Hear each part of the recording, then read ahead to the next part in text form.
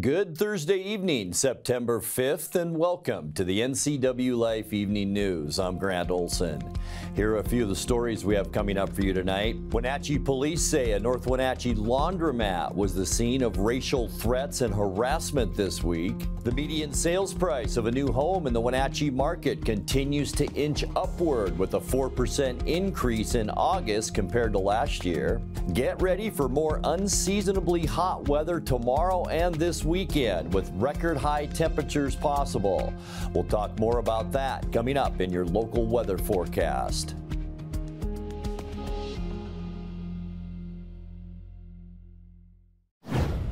Highway 97 is reopened after it closed overnight due to wildfire activity in the area. The 15 acre Blewett fire was reported on Wednesday afternoon and is located at the top of Blewett Pass. The U.S. Forest Service says motorists can expect a single lane pilot car controlled traffic near the summit from milepost 163 to 164, where fire activity and emergency response vehicles are present. 120 personnel are currently assigned to the fire. The Forest Service says the Blewett fire has been determined to be human caused due to its location adjacent to the roadway and the lack of recent lightning in the vicinity.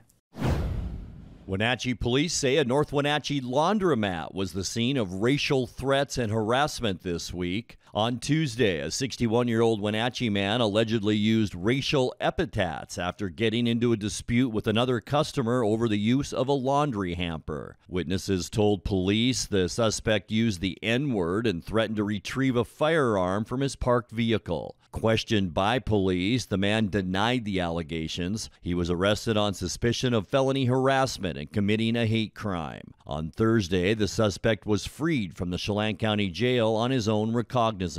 Chelan County prosecutors have until Friday to decide whether to file formal charges.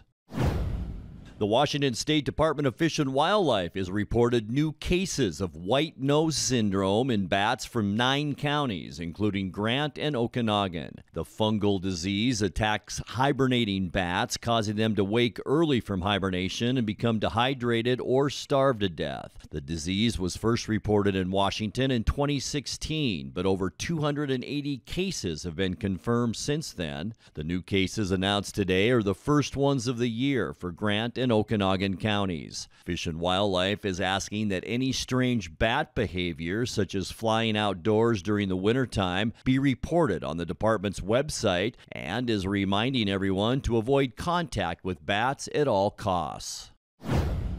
Restoration efforts within the Chelan Butte wildlife area will impact hunting season after a wildfire burned the area last month. The Stayman fire began on August 20th and burned over 3,100 acres, which the Washington Department of Fish and Wildlife says impacted critical habitats. The damage from the fire will affect hunting season with pheasant releases in the Chelan Butte wildlife area suspended this year. The department says bighorn sheep hunting remains largely unaffected and deer hunting will see varying impacts. Fish and Wildlife says while many native plants will recover naturally, staff will focus on replanting native shrubs, repairing signs and infrastructure, with restoration efforts expected to last several years. When we come back, the Chelan Douglas Regional Port Authority will share the final report of the Regional Sports Complex feasibility study next week. Construction is set to kick off tonight on the roadway to the Greater Wenatchee Regional Waste Management Facility. I'm Grant Olson, and you're watching the NCW Life Evening News. Raising a family may have seemed overwhelming to your parents, but they weren't. Coach, teacher, life guide, caregiver. Family takes care of family. And as the circle of life continues, you now are their caregiver. It may seem overwhelming, but we're here to help you find the support services necessary so you can provide quality care to your elders. Call Aging and Adult Care of Central Washington at 1 800 572 4459.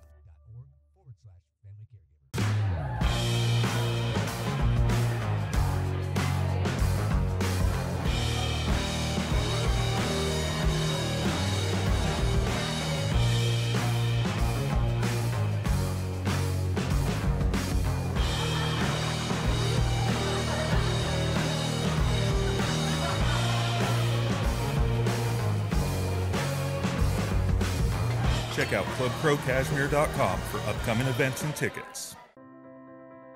Now there are even more reasons to meet at the Pybus Market.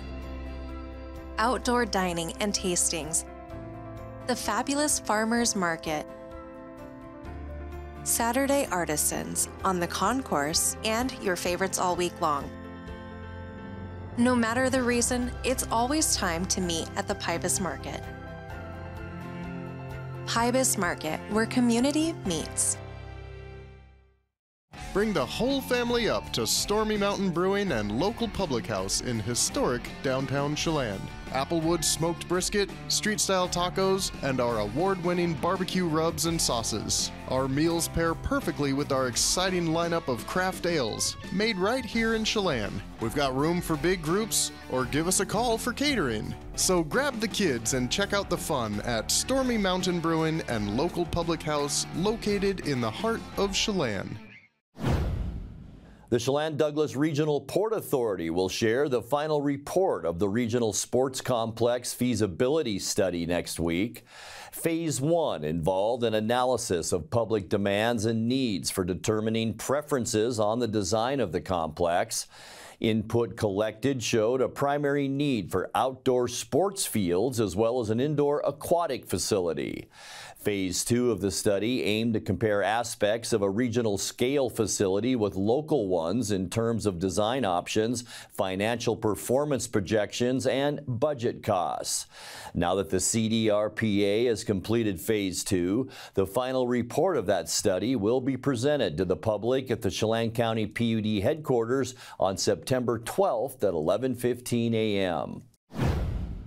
Construction is set to kick off tonight on the roadway to the Greater Wenatchee Regional Waste Management Facility. According to a Douglas County Facebook post, many heavy trucks travel on South Webb Avenue to the landfill facility every day, which degrades the surface of the road. Douglas County crews will be working to resurface the road between the hours of 5:30 p.m. and 3:30 a.m. from now through September 13th, with the road remaining open to vehicles during the daytime. The county says the new strengthened roadway will prevent further degradation and lower maintenance costs.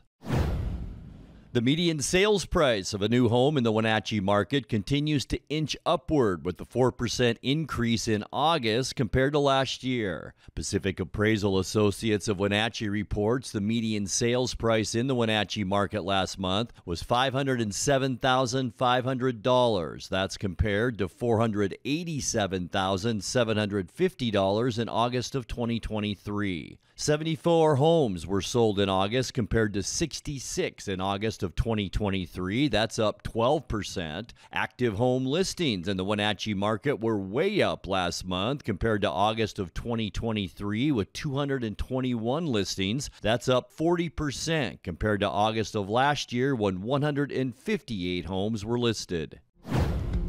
Coming up next in tonight's feature story from the Wenatchee Valley Humane Society, we will introduce you to a six-year-old pointer mix named Solo Bino. Record-setting heat is possible by Friday and through the weekend with a cool down early next week. I'll have all the details coming up in your full local weather forecast. That and much more still to come tonight. Please stay with us.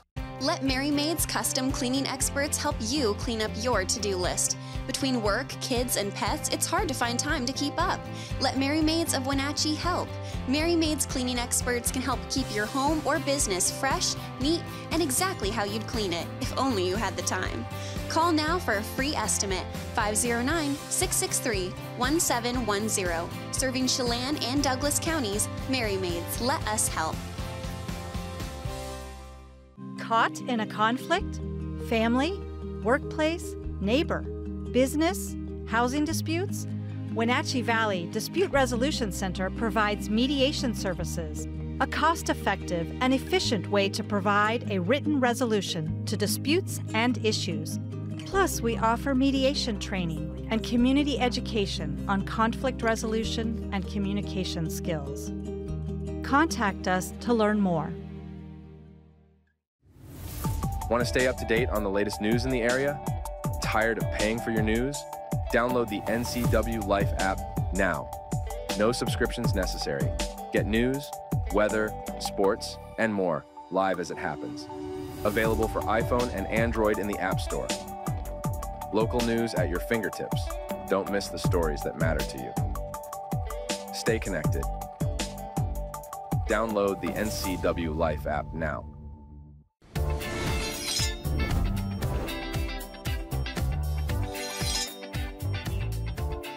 I'm Jen Mueller. Watch for my show, I Cook You Measure on NCW Life. It's part cooking instruction, part entertainment, and all about connecting over food and wine with your favorite Northwest athletes. Watch I Cook, You Measure with Jen Mueller Mondays at 1, Wednesdays at 2, Fridays at 11 a.m., and Saturday and Sundays at 10.30 p.m. Right here on the NCW Life channel.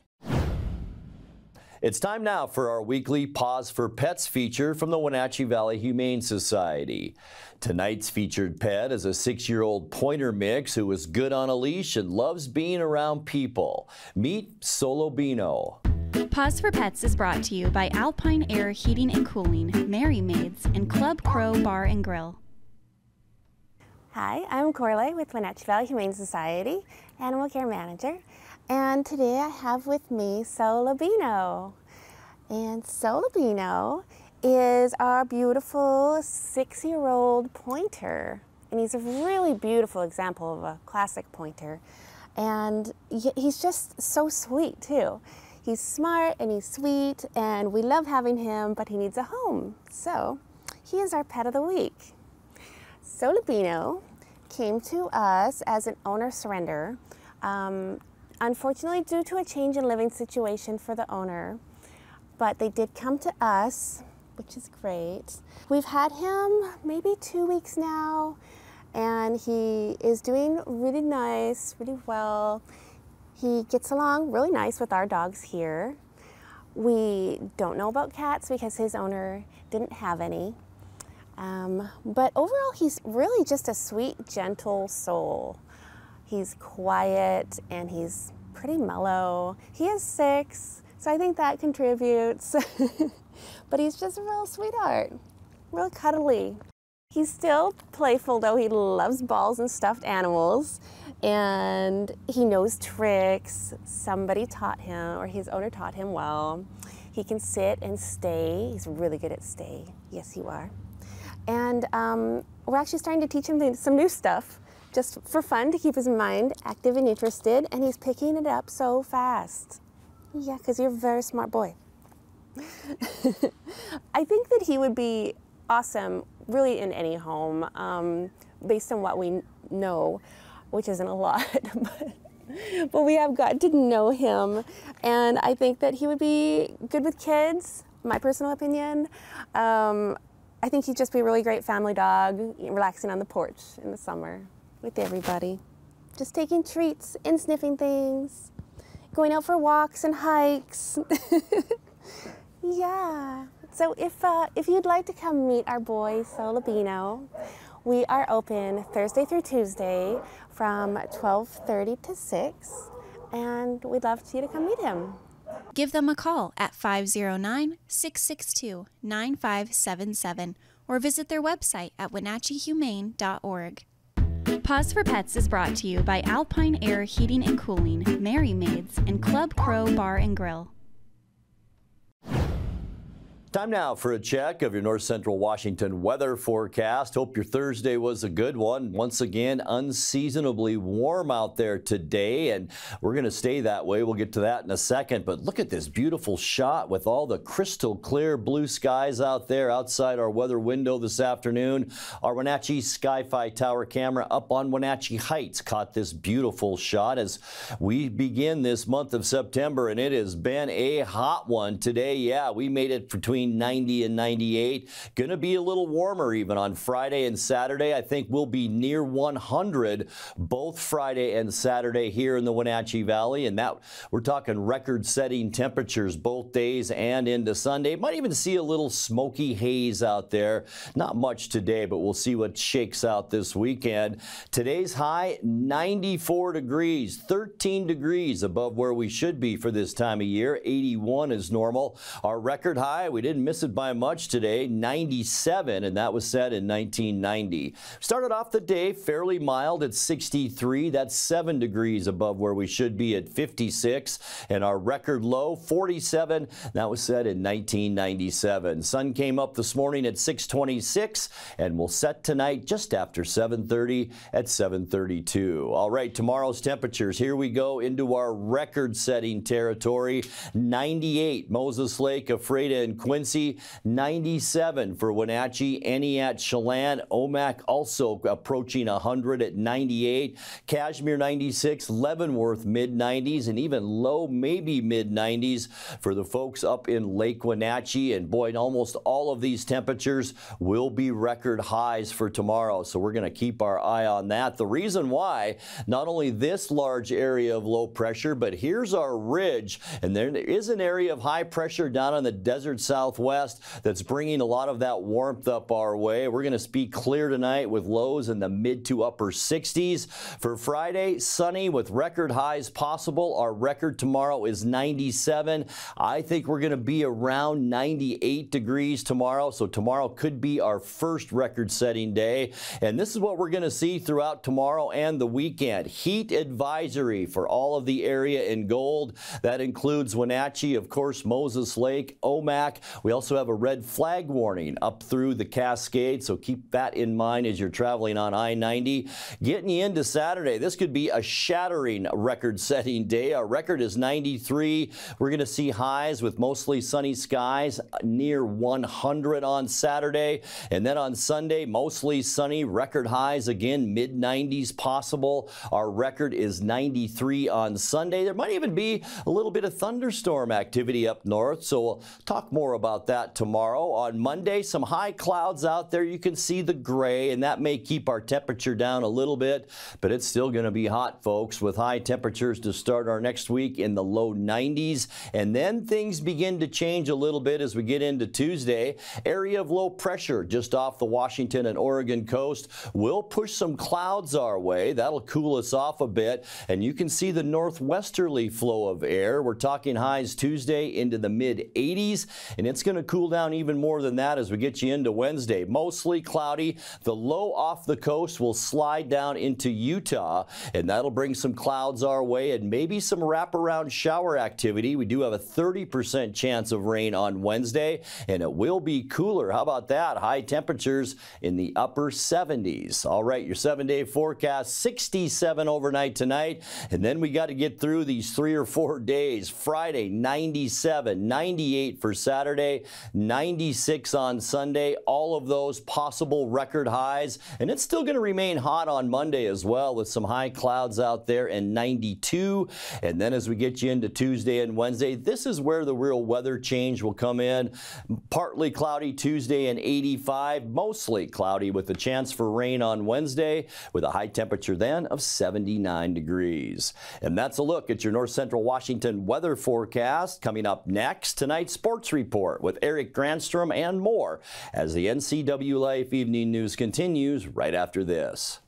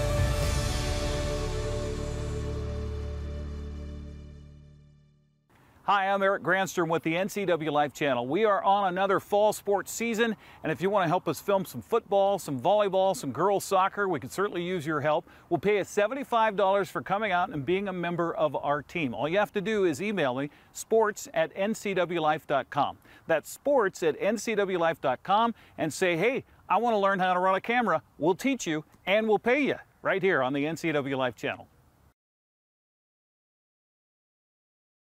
Building your business is easy and affordable with television and digital marketing options from NCW Life Channel, your local TV station. Get your business seen and heard on 18 top networks, including NCW Life. Have you seen a local pop-up ad on your phone? We do that too. Target your market with NCW Life's managed advertising programs that save you time, money, and give you great results. Advertising with NCW Life Channel is the best value around.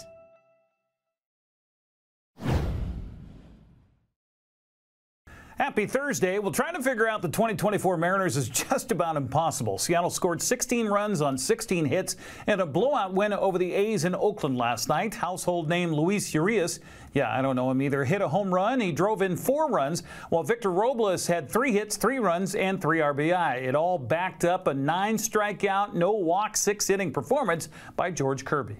After wrapping up the series with the Athletics today, Seattle heads for St. Louis to face the Cardinals over the weekend. Mariners are five and a half games out of the American League West and the wild card race after last night's win. Houston fell to Cincinnati 12 to 5.